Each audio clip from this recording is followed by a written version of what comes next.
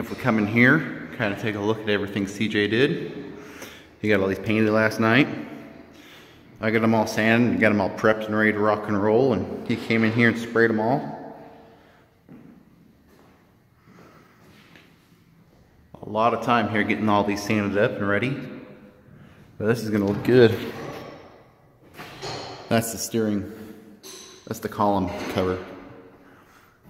All these little pieces here came out really nice. And look how nice and shiny that steering column is. It's gonna look really good once it's all together.